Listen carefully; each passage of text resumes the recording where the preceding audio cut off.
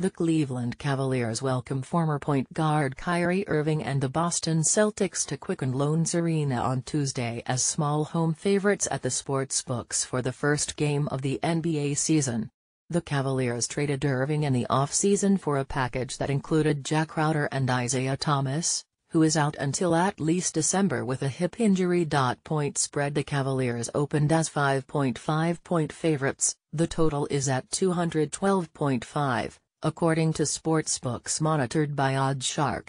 Line updates and matchup report and the betting pick, via OddsShark Computer 123.3 to 104.2, Cavaliers NBA picks on every game why the Celtics can cover the spread motivation should be high for Irving, as he got what he wanted when he requested a trade. But the Celtics also added another key piece to what they hope will be a championship puzzle when they signed free agent Gordon Hayward.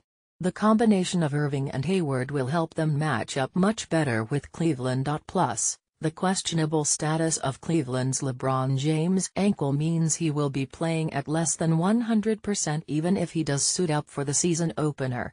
Why the Cavaliers can cover the spread The Cavaliers have won 13 of the past 16 meetings with the Celtics straight up, according to the Odds Shark NBA database, after taking 4 of 5 in last year's Eastern Conference Finals. While Irving will be motivated to face his former team, his ex-teammates will be fired up as well.